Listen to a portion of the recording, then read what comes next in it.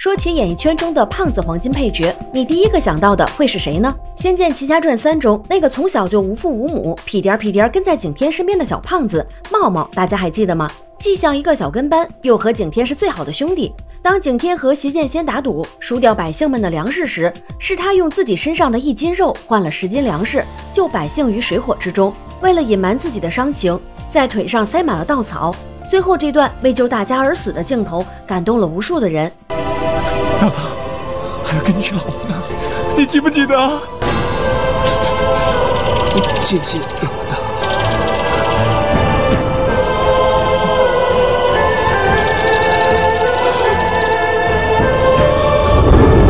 这个重情重义、心思单纯、最大的心愿就是看看长安的繁华，能娶个老婆的小胖子，到死都没能实现。其实茂茂的扮演者是演员林子聪。自出生时，他就是一个大胖小子，他的形象也让他在社会上遭遇了各种不平等的对待。当 TVB 招聘编辑时，他凭借自己天马行空的想法，竟然面试上了，这也让他遇到了他的贵人周星驰。当时的星爷正在开创自己的无厘头喜剧电影，林子聪意外摔进泳池的电影让他觉得很好玩。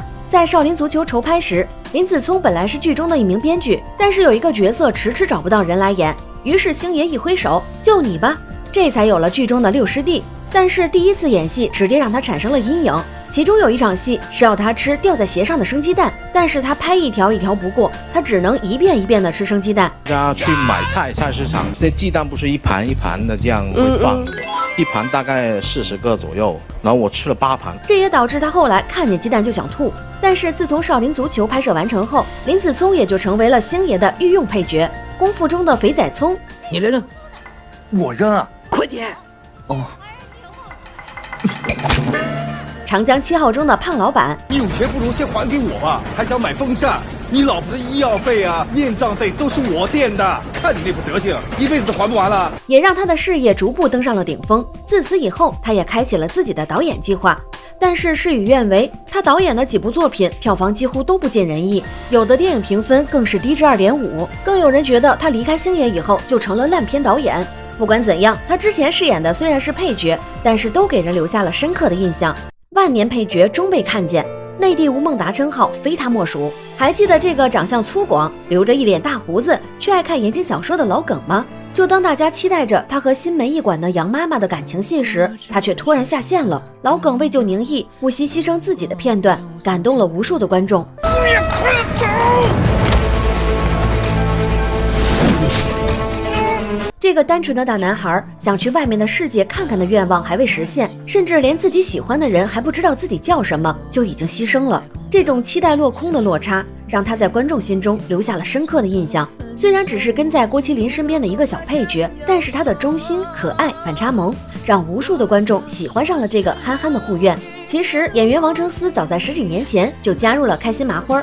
那时的他总是活跃在话剧舞台上，直到开心麻花在春晚的舞台上火了之后，作为元老的王成思自然也跟着沾了光，跟着团队一起进军影视行业。最先让观众在影片中认识他并留下深刻印象的，想必就是《羞羞的铁拳》中秀念一角。虽然出场时间只有五分钟，但效果相当轰动。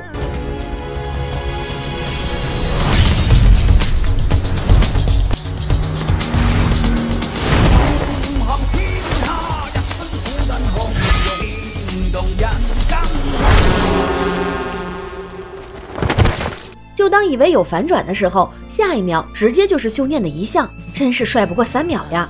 不过正是这么短短几分钟的戏份，让观众们捧腹大笑，甚至有人自发在网上为秀念师兄过起了头七。《西红柿首富》中的卧龙凤雏的大聪明，也来自王成思。大聪明，果然名不虚传。你听说过我的故事？没有，但你的脸上写满了。他的左眼其实戴的是特制的隐形眼镜，把大聪明演绎的淋漓尽致。《唐人街探案二》中的这个斗鸡眼也让观众印象深刻。Give me face, you don't want。我说你给脸不要脸，干个 leg，他妈咱们狗腿呢？斗个三。His face, give him some color。在剧中的王成思要一直保持斗鸡眼的样子，导致他根本看不清前方。拍完之后，他还担心自己的眼睛变不回来了。凭借几部喜剧电影，也让王成思成了黄金配角。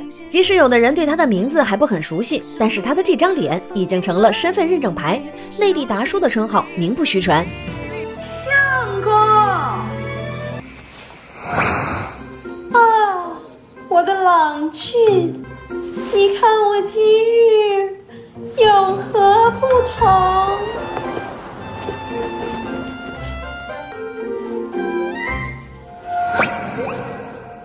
在《玉楼春》中，辣目洋子饰演的是骠骑大将军的独女吴月红。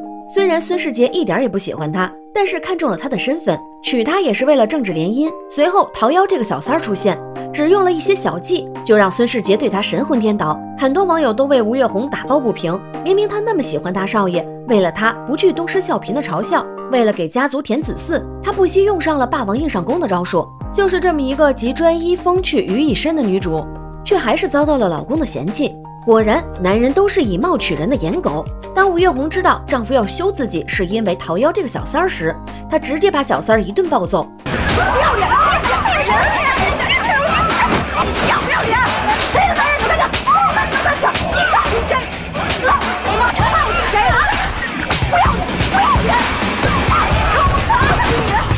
到这儿的网友大呼过瘾，纷纷站到了吴月红这边，手撕小三儿。简直不要太爽！虽然辣目洋子在戏中的戏份不是很多，但是她演绎的大奶奶给人留下了深刻的印象。不知道你有没有对她路转粉呢？其实辣目洋子之前是做短视频的，凭借自己的幽默感和圆圆脸成功出圈，随后选择了成立自己的工作室，凭借着自己的努力，让众多导演看到了这个胖胖的潜力股女孩。随后他又出演了《胖子行动队》的初夏。说啥呢？听不懂。我。喜欢你。悲伤逆流成河中的坏女孩汪爱玉也是他出演的。易遥，唐米今天有事儿，你在二年一班没立足之地了，你你完了。除此之外，他还参演了《演员请就位》第二季，凭借在小偷家族中一镜到底的镜头，惊艳了众多观众。玲玲说想来看你，你见了。优秀的演绎也让尔冬升导演对他赞不绝口。或许他的形态样貌并不符合现在大众的审美，可是他凭借着自己独有的特色、优秀的演技，征服了越来越多的观众。一部好的作品，除了主角，好的配角也至关重要。以上三位的演绎可以堪称黄金配角，让我们期待他们继续发光发热吧。